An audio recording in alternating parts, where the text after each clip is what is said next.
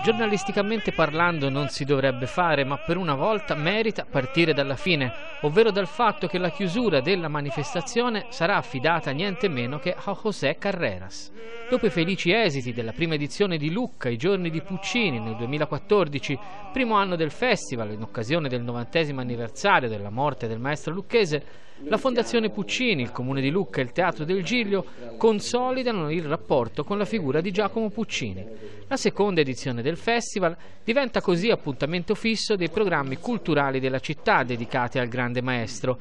Il festival trova la sua naturale collocazione a Lucca, città natale di Puccini, che raccoglie l'eredità del maestro e la proietta in una manifestazione con eventi di respiro internazionale.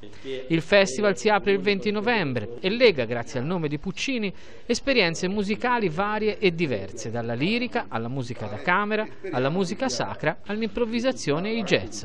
La presenza di José Carreras, uno dei tre immortali, insieme a Placido Domingo e Luciano Pavarotti, si colloca nel galà di chiusura il 10 gennaio 2016. Il suo legame affettivo con Lucca è strettissimo dato che sono di Puccini i ruoli che lo hanno consacrato a livello internazionale.